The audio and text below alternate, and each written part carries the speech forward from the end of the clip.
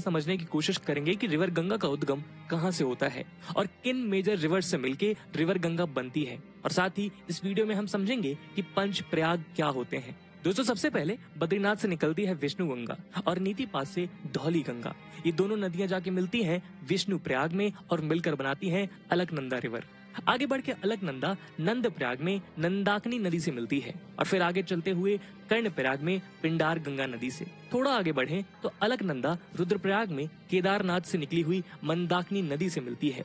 अलकनंदा और आगे चलती है और फिर देव प्रयाग में गंगोत्री से निकली हुई भागीरथी से मिल जाती है और इन दोनों नदियों से मिलकर फाइनली बनती है गंगा, जिसे हिंदू धर्म में माँ गंगा भी कहा जाता है और पवित्रता का एक प्रतीक माना जाता है। दोस्तों, अगर आप चाहते हैं कि हम किसी और नदी के उद्गम और उसकी सहायक नदियों को मैप की मदद से समझाएँ तो आप उसका नाम कमेंट सेक्शन में लिख सकते हैं। दोस्तों, इस वीडियो में हम मैप की मदद से समझ